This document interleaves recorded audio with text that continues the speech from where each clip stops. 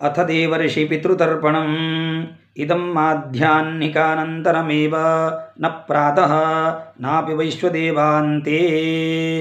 देवर्षि पितृतर्पणं करिष्ये उपवीते देवतीर्थेन ब्रह्मादयो ये देवाः तान् देवान् तर्पयामि सर्वान् देवान् तर्पयामि सर्वदेवगणान् तर्पयामि सर्वदेवपत्नीस्तर्पयामि सर्वदेवगणपत्नीस्तर्पयामि सर्वदेवपुत्रान् तर्पयामि सर्वदेवगणपुत्रान् तर्पयामि एतानि सप्त अङ्गुल्यग्रैः सकृत्कुर्यात् निवेदे ऋषितीर्थेन कृष्णद्वैपायनादयो ये ऋषयः तान् ऋषीन् तर्पयामि सर्वान् ऋषीन् तर्पयामि सर्वऋषिगणान् तर्पयामि सर्वऋषिपत्नीस्तर्पयामि सर्वऋषिगणपत्नीस्तर्पयामि सर्वऋषिपुत्रान् तर्पयामि सर्वऋषिगणपुत्रान् तर्पयामि।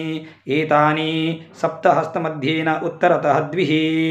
उपवीति देवतीर्थेन ऋग्वेदं तर्पयामि यजुर्वेदं तर्पयामि सामवेदं तर्पयामि अथर्ववेदं तर्पयामि इतिहासपुराणं तर्पयामि प्राचीनावीति पितृतीर्थेन सोमः पितृमान् यमोङ्गिरस्वान् अग्निः कव्यवाहनः इत्यादयो ये पितरस्तान् पितॄन् तर्पयामि सर्वान् पितॄन् तर्पयामि सर्वपितृगणान् तर्पयामि सर्वपितृ पितृपत्नीस्तर्पयामि सर्वपितृगणपत्नीस्तर्पयामि सर्वपितृपुत्रान् तर्पयामि सर्वपितृगणपुत्रान् तर्पयामि ऊर्जं वहन्तीरमृतं घृतं वयकीलालम्बरिश्रुतं सुधास्ततर्पयत मे तृप् सुधास्ततर्पयत मे पितॄन्। तृप्यत तृप्यत तृप्यत उपवीति आचामेदे इति ब्रह्मयज्ञतर्पणम्